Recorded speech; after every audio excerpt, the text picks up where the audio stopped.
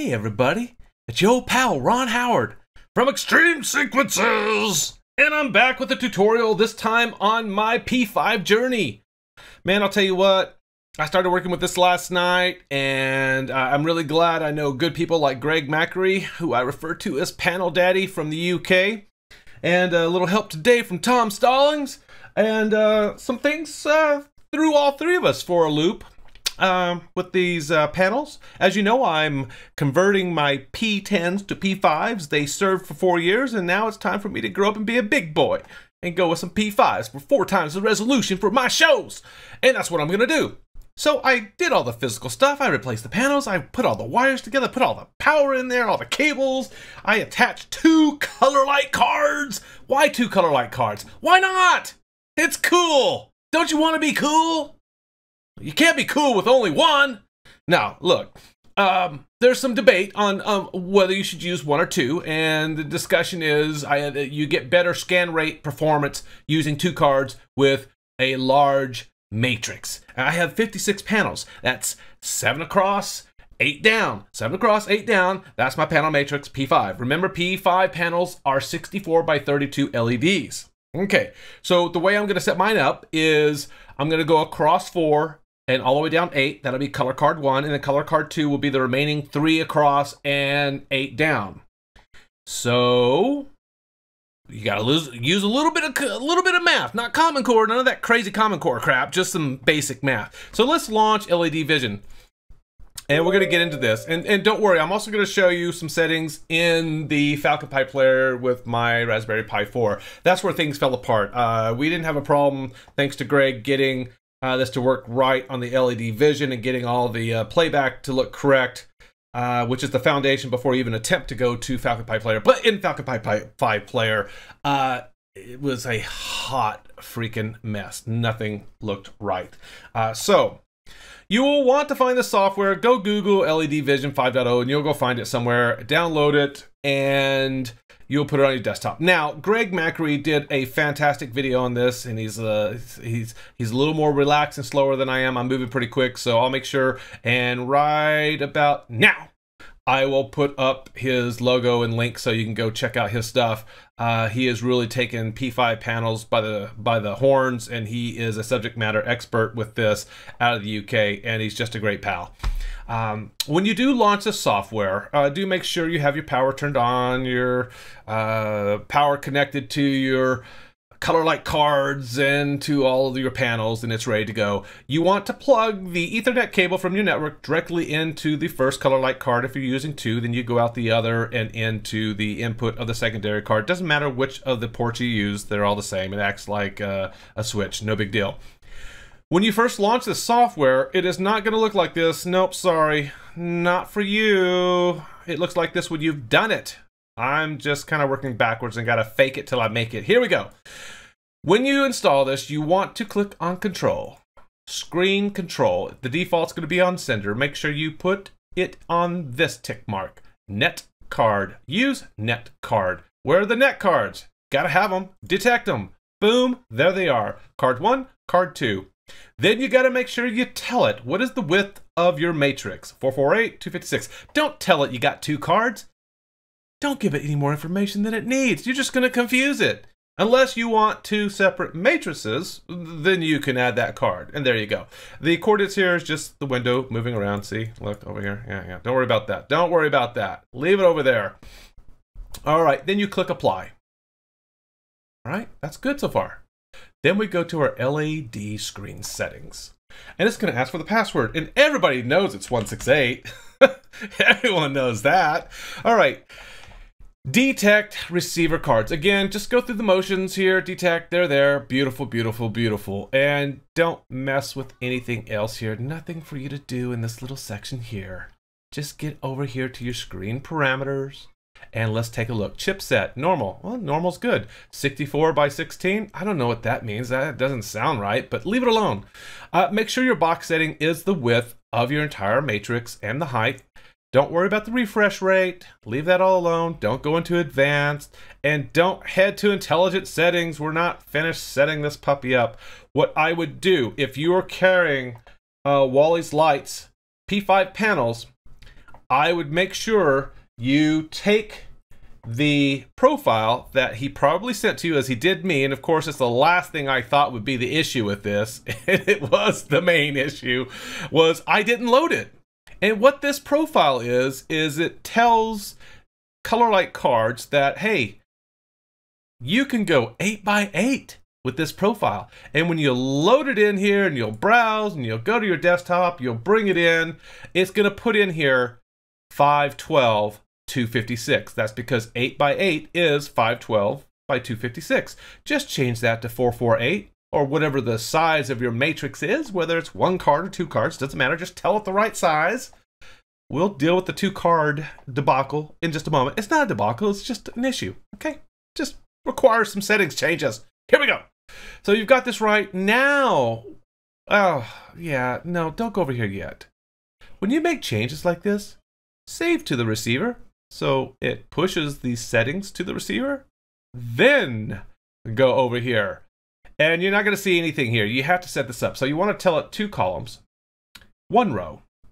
And then you got to figure this out. Here, here comes a Rubik's Cube that makes no sense to me. Uh, I would think that the first one should be 256 by 256, and the second one should be 192 by 256. Four panels uh, in length, three panels in length, eight panels tall, either one of them. But no, no, here it's got to be different. It's got to be wacky wonky. So you just want to make sure that the first panel, you make it 192 by 256, which is mine. And the second panel is 256 by 256. And then you click this button here, which tells it start on the longer panels, which is where I'm at, and work yourself to the end of here. It just you would think intuitively it would be the opposite, but it's not. And the way you find this out is after you save to receiver and go through the rest of these steps, you're going to see the uh, fruits of your labor with the uh, with this uh, turning on your matrix. And suddenly you're going to see, well, why is the LED pushed over this way and it doesn't look right? It looks like it's flipped. Then you come back over here and you finagle in here just a bit till you get it right. So send a receiver, boom, now we can go back to our screen parameters where we are looking for the intelligent settings. I've always loved the word intelligent. All right. And holy moly, it's like Jesus walked in the room on me. It is bright in here. Bright, bright white everywhere. My panel is on. Every LED just blinding me. Full color. Yeah, that's probably a good idea. Why would you want virtual color? Let's get real. Full color's in with, this is not going to say 64. Make sure it says 64 if you're using a P5. Change it now, 64, and ignore the rest. Click next. Now we're ready to go through some tests. And what this is going to do is going to bounce from black and then white. And then black and then white, except not as fast as that. And I just don't have time to wait for it. Next, then it's going to say, great. One is a little bit darker than two, and it goes back and forth. A little bit darker, a little bit brighter, just go next. Then it's going to go red, green, blue, and black with the top 16 rows of your entire matrix, and it's going to cycle through those colors. Do cycle through all four just to make sure they're the right color. Yeah, there we go. Next. How many rows are lighting in a module? Well, French for module is your entire matrix in this case because I have 16 white LEDs from the left to the right of my matrix on. Next, how many lights are on now? It Should just be the one top row. It is! Yay, next! And then you get to this. It's like, oh my gosh, am I playing bingo with my mom again in 1979? No, you're not! you're gonna see a light on your matrix, probably blinking. That's probably in the number one position. I sure hope it is. And if you have two cards, you might see it in two positions. You know, they're both number one position, but you might see two lights. Just take your mouse, click here, and drag across the top. If you make a mistake and drag down here, because you're all freaked out, hit the reset button that you can't see right now because it's already done. Drag this across, scoot this over, continue dragging until you get to the end. Then go back to the front, click on column one, row two, and do the same thing. Drag, stay in the lines, stay in the lines. How many times must we tell you, stay in the lines? And then it's like boom hey look you've done something and then you'll see this big light from behind you and you'll turn around and it'll be like ah, it looks like the screen look at that boom and you're just like so giddy with excitement. You can't wait to get over to your Falcon Pi player, start testing with the lights. Yeah, click finish, will you? Stop the excitement, and you're done with this. Just know that uh, you'll never ever have to come back with this once you have this set up correctly. But the main thing to get this to work right was having the profile loaded in here. Now, does that work for the other vendors out there? I don't know. I don't know. You'll have to check with them. Okay, so I'm going to close all this down, close all this down, and I'm going to change the cables. Oh, look, it's a meltdown at the Howards with my kid screaming, I hate you, COVID-19. All right, um, I'll come right back. Give me one sec. And we're back. That was so fun. It took about 30 seconds to change the cables around, no big deal. Remember, important with the Pi player, and I'm running a Pi 4, is to the input from your inter from your network needs to go into the dongle, which goes into a USB port, and then the output from the Pi into the first ColorLight card is through the metal jacket looking output thingy dingy on the Raspberry Pi 4. When we get to our Falcon Pi player, here we are, standalone mode. Nothing in here to see, folks. This is pretty boring. Uh, you will see that there's an IP address up here, but I'm not seeing the one for the output, and that could be a problem, right? Oh, but there it is. It just needed to refresh. It's important that you see two IP addresses. One here is the IP address to the Pi. The other one is the IP address that gets to the ColorLight card. All right. And all we care about is the LED panels. We don't care about pixel strings, ArtNet, DDP, all that kind of crap. Nah, nah, nah, nah, nah. We don't care about that. All we care about is enabling output, setting up the correct order of the panels, making sure the scan rate is correct. I had set this set this to uh, 1 8 because I think that's what my other ones were. But if you look at the back of the panel, it will tell you what it is. And uh, Tom Stallings picked that out right away. He goes, hey, what's the scan rate? I, I don't know, 1 8? He goes, look at the back of the panels. I'm like, oh, okay. so, eh, being a noob is fun. All right, so uh, start at the left corner. Yep, yep, yep. Set to ColorLight card. Yeah, start channel one. BGR. Color orders pretty important. And then the interface. If you get this wrong, you get nothing outputting from the Pi to the ColorLight card. So this is set to Ethos 0. I would assume yours should be 2. Then you have the order of your panels. Whichever way the arrows are pointing, make sure that this is correct. This is the way it works for these panels that I have from Wally's Lights. Boom, done. All right, you can study that. Take a screenshot if you want. Sure, go for it. All right, we're done there.